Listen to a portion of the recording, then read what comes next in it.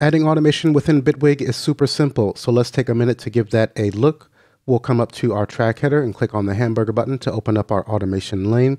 Let's click on the parameter we'd like to automate. I'd like to automate the filter cutoff. So now the field has changed to show our filter. I'll click to add a point, click here to add a point.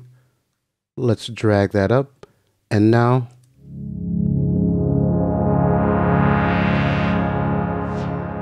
our automation has been added. Now we could also press 3 on our QWERTY keyboard to access the pen tool.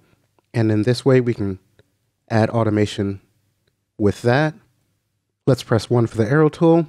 And to remove our points, we can just be sure that they are highlighted in black and remove those out. Alternatively, we can remove the entire track by clicking on the X here.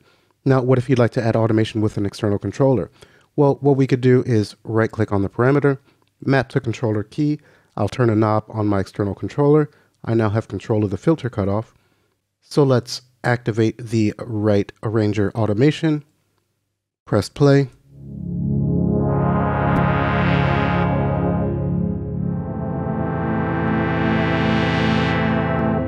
Press the spacebar to stop. Now when we click on the drop-down menu, we can see our cutoff frequency.